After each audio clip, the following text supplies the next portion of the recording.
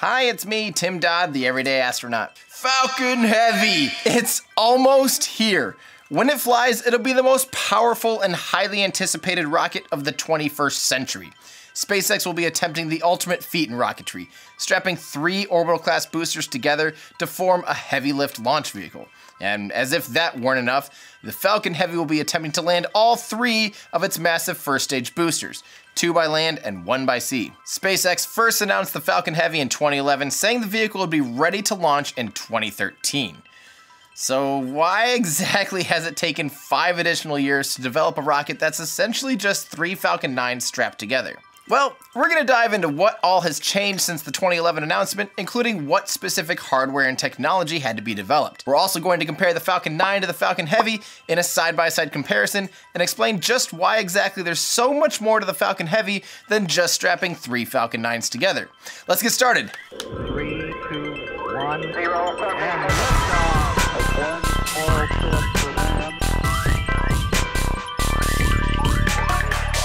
Now that we're closer than ever from seeing the Falcon Heavy fly, the excitement is through the roof. For the past four years, SpaceX has been claiming the Falcon Heavy is only six months away. But for once, we're well within that. In case you don't know, all the hardware for Falcon Heavy is sitting inside the hangar at Launch Pad 39A at Kennedy Space Center. Yes, this means the Falcon Heavy exists.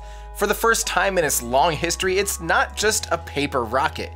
Elon Musk even revealed the payload of the Falcon Heavy, and I have to rub it in. I was right. I think it should be a bunch of Teslas that are like made to just be dummy payloads that end up going into orbit that orbit either the, the Earth or the Moon, and we get all these live feeds of Teslas in space, and you can just go to teslaInspace.com. Make it happen. Although I've been kind of half joking for the past couple years, it still blows me away that this truly is the payload a Midnight Cherry Tesla Roadster. And not just any Tesla Roadster, but Elon's personal Roadster at that. And to top it all off, it's not just going to space, it's going to Mars. Now before we get too far into this, we should probably do a quick comparison of the Falcon 9 and the Falcon Heavy. And in order to do that best, we should tune into my favorite home rocket shopping network, TVC. You need one booster. Wrong. Three boosters. Today only, not only do you get one booster with nine Merlin engines, call now and you'll get three boosters with 27 Merlin engines. Now you might be asking yourself, how much thrust does this thing have? Well, guess what? I've got those numbers. The Falcon 9 is capable of 7,600 kilonewtons of thrust. The Falcon Heavy, guess what? Three times the thrust. That's right, ladies and gentlemen, not one time, which would be the same. Not two times, which would be two times. Not three times, but three times the thrust as the Falcon 9. That's right, 22,800 kilonewtons of thrust. Now this is the one that you're looking for. Because obviously, if you need to send a big heavy old thing up to low Earth orbit, you have the ability to launch 63,800 kilograms to low Earth orbit. That's right, folks, you heard me, 63,800. But what about geostationary transfer orbit, you ask? Well, it just gets better because this thing is capable of 26,700 kilograms. Remember earlier when you wanted to launch 8,300 kilograms on your Falcon 9? This thing could do it and still reuse all three of those cores. So you get three cores back instead of none. I might as well be giving you them away. You get a Falcon 9, you get a Falcon Heavy, you get a Falcon 9. Ugh. That guy's so annoying. Next up, let's give you a quick history rundown of how the Falcon Heavy came to be and how it's changed over the years. Despite Elon Musk mentioning a Falcon 9 Heavy at the Mars Society way back in 2008, SpaceX didn't reveal their official plans for Falcon Heavy until April 5th, 2011 at a news conference in Washington, D.C. Here, Elon Musk announced his ambitious timeline for Falcon Heavy. I think most likely what, what, what, what you'll see is ro rocket at the pad towards the end of next year um, and then a launch sometime uh, uh, in, in uh, 2013. At the time, SpaceX's plans were to have three Falcon 9 cores put together to form a heavy lift launch vehicle. The Falcon Heavy would be able to lift 53,000 kilograms or 117,000 pounds into orbit.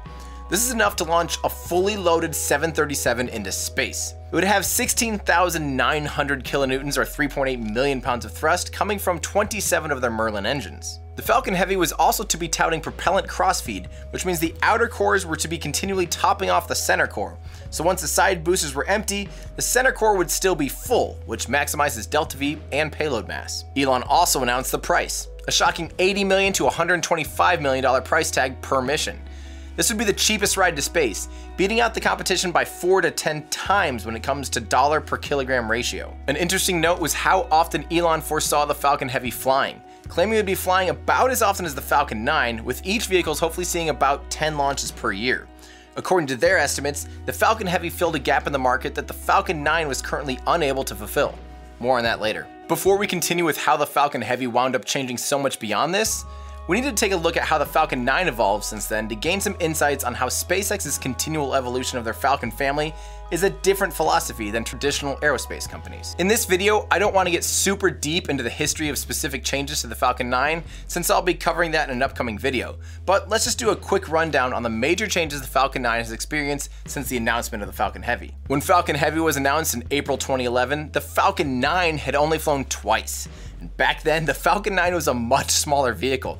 The entire version 1.0, including the first stage, second stage, and payload, was almost exactly the same size as only the first stage of today's Falcon 9, version 1.2. Version 1.2 has almost 50% more thrust than version 1.0. They've added landing legs, grid fins, nitrogen thrusters, super chilled propellants, and stretched the tanks of both stages.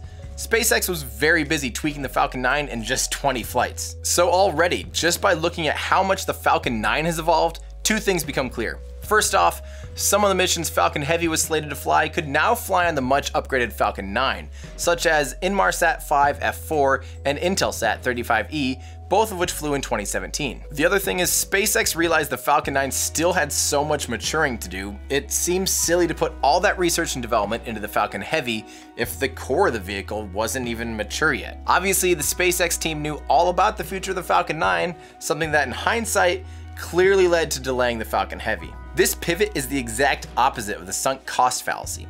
This is perhaps the biggest paradigm shift in SpaceX's philosophy compared to more traditional aerospace companies.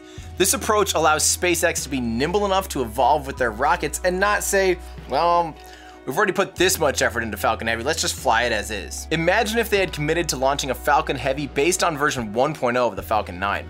All of the engineering on the loads and stresses would be out the window, let alone recovery hardware would have been non-existent so it was clearly the right move to wait until their Falcon 9 was more mature. So let's move on to what things actually had to be developed for the Falcon Heavy.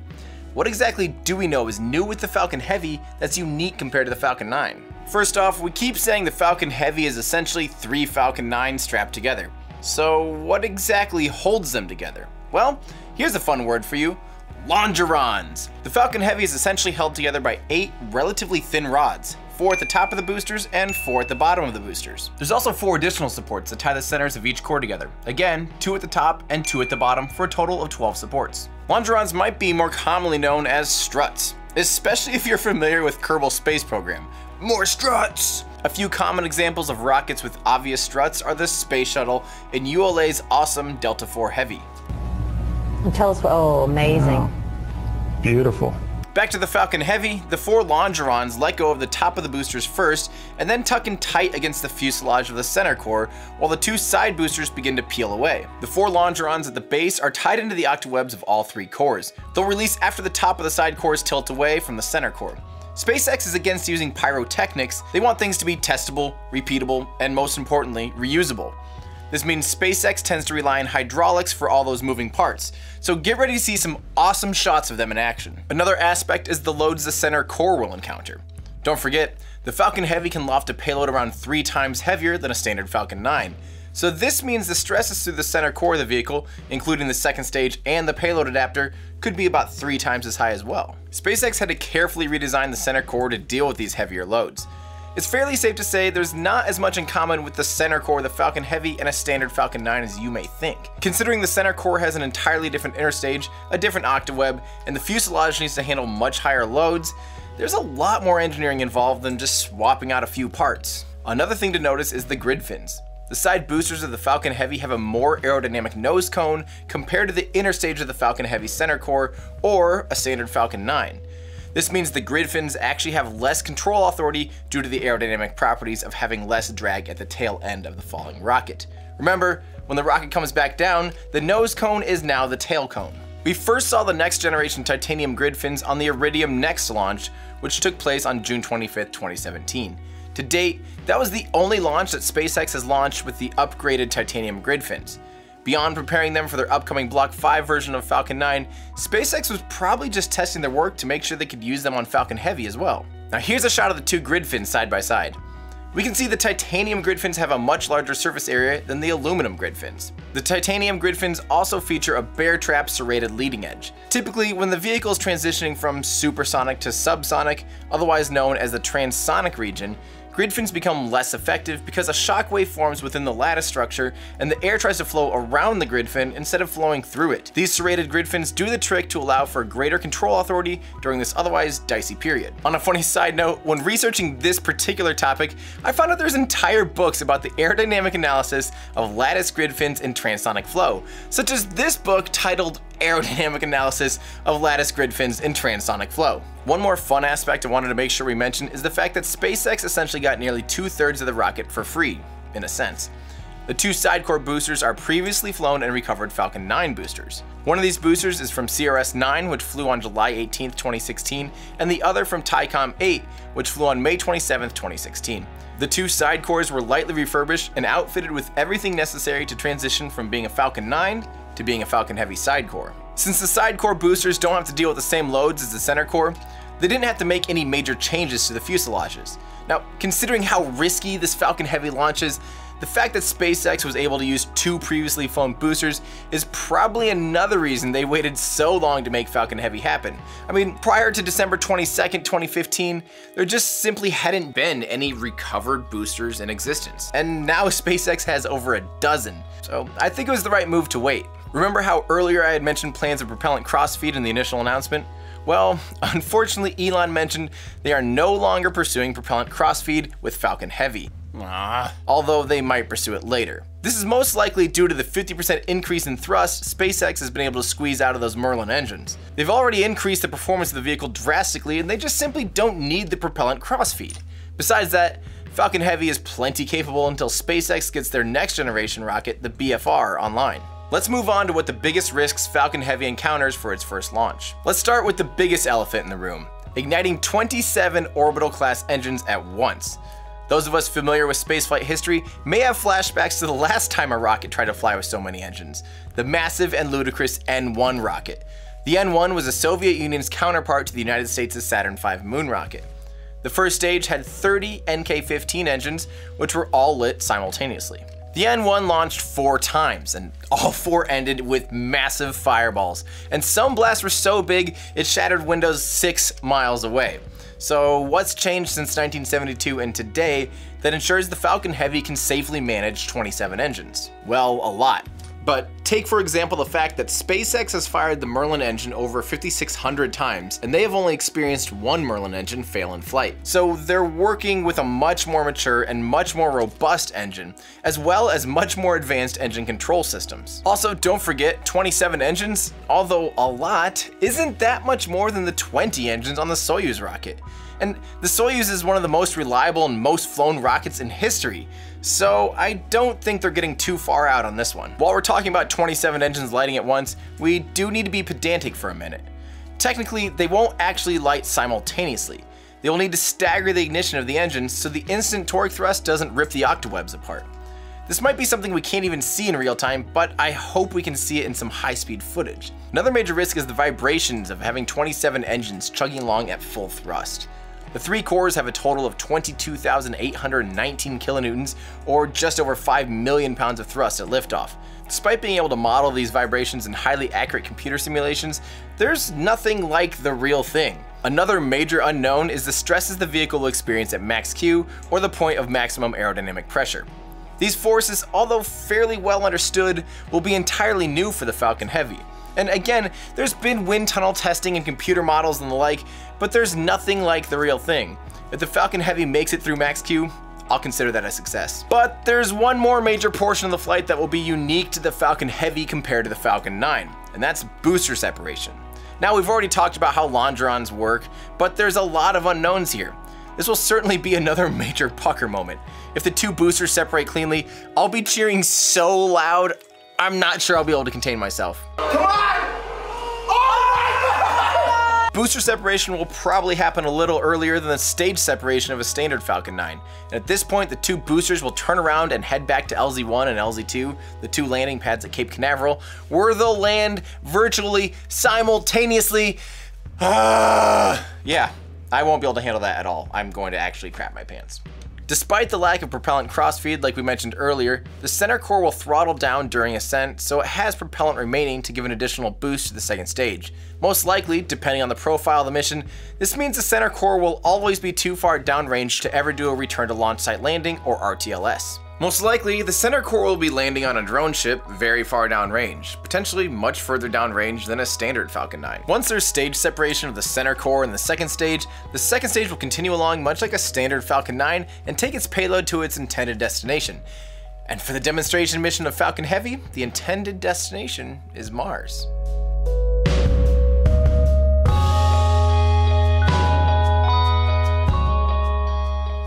So, what are your thoughts on Falcon Heavy? Do you think it's going to succeed, or are you a little bit skeptical? And what about the time? Do you think it's going to fly anytime soon, or will it be another six months away? Well, let me know. I have two polls. I want to hear when do you think it's going to fly, and the other, if it's going to succeed or if it's going to fail. And we'll have different options of when it might encounter a failure. So I want to hear from you. But personally, I actually think it's going to be a complete success. And I think we're gonna see a Tesla heading to the red planet. But that's just me, forever an optimist. Good rocket. I owe the biggest thanks to Oli Braun, the wizard behind those beautiful models and the 3D renderings. Make sure and find him on Twitter to keep up with his amazing work at Oli underscore Braun. There's a link in the description. Make sure you're subscribed so you can join the discussion when we continue to learn more about the Falcon Heavy. Also, I live host SpaceX launches starting about 30 minutes before liftoff. So come ask questions and join the conversation live. A big, huge thank you to my Patreon supporters for helping make this and other everyday astronaut content possible. I owe a special thanks to those patrons in our Discord channel who helped me script and research. If you want to help contribute, please visit patreon.com slash everydayastronaut. Thank you. Don't forget to check out my web store for shirts, hats, mugs, prints, and original artwork, lots of other fun stuff at everydayastronaut.com slash shop. And as always, all the music in my videos is original. Feel free to check it out and download it for free at soundcloud.com slash everydayastronaut. Tell a friend. Thanks everybody, that does it for me. I'm Tim Dodd, the Everyday Astronaut, bringing space down to Earth for everyday people.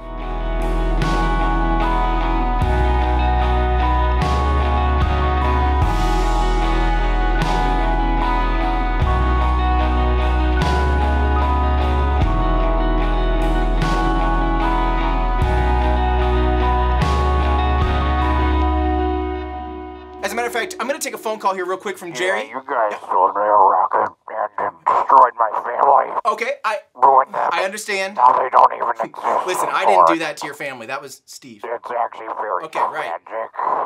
Okay, I hear you loud and clear. So Jerry on the phone is asking, today this is the best we have, folks. This is it. This is the cum de gras. This is the creme de flen. This is the mort de gras. This is the Bill Lekill. This is the Bill Nye. This is the science guy. This is it, folks.